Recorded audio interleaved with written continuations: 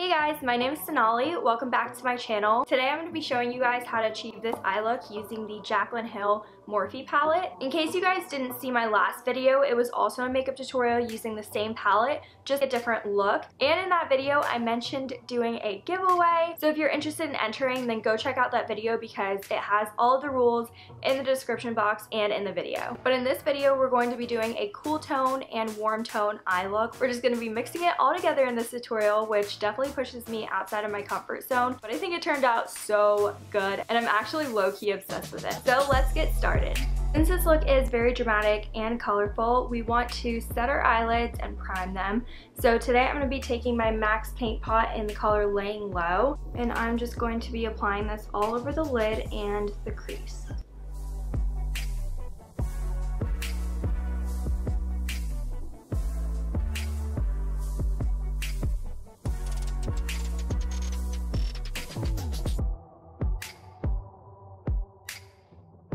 And then you can just blend like the edges with your finger. I feel like it just makes it a little bit softer of an edge. Then I'm gonna set my lids with the Dermablend setting powder.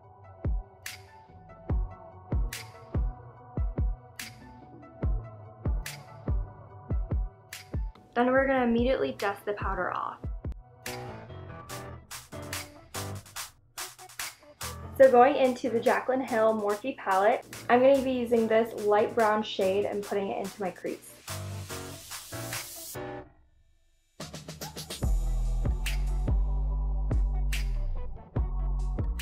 Next we're going to take this peachy color, but for this color we're going to blend it a little below the color we just put in our crease.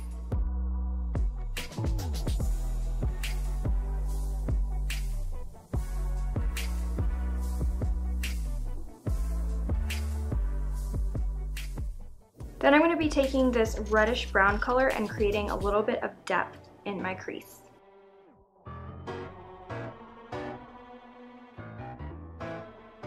Then I'm going to be taking this blue and putting it on my lid. I am going to be using my pinky for this blue because I feel like the color payoff is just so much better when I use my finger for any like glittery or shimmery pigments.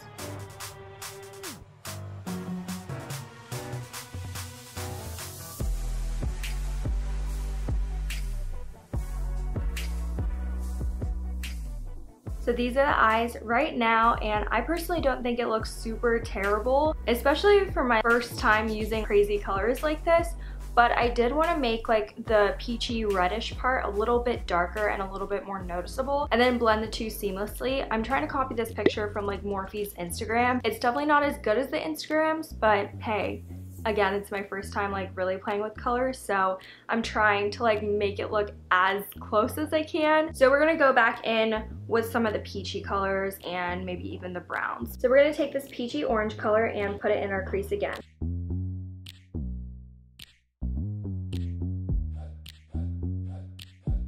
So that looks a little bit better, but as you can see, it's kind of like dripping down on the blue eyeshadow. So we're gonna have to apply some of that again.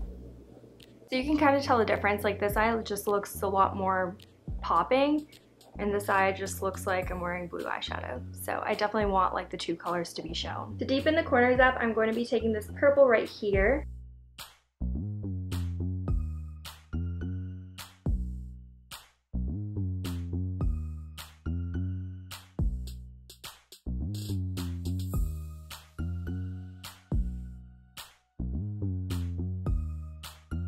And this is the difference without the deepening of the corner. This one has it and then this one doesn't. And then I'm just gonna blend a little bit more.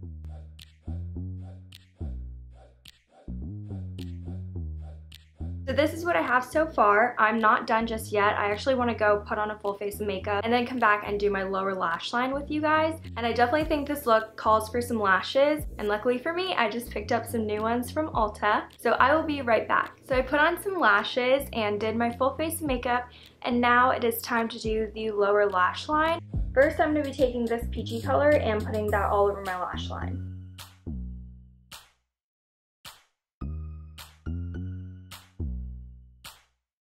Then I'm going to be placing the blue on the outer part of my lower lash line.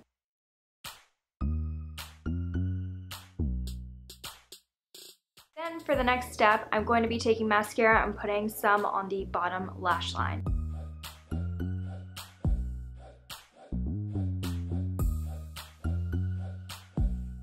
So this is the complete cool tone, warm tone eye look. I hope you guys really enjoyed this video. It definitely pushed me out of my comfort zone and don't forget to check out my giveaway for the Jaclyn Hill Morphe palette. If you're interested in entering, then definitely go check out my last makeup tutorial using the Jaclyn Hill and Morphe palette. All of the rules are in the description box and in the video, so you can find out more about it there. So I will see you guys in my next video. Bye guys! Thank you.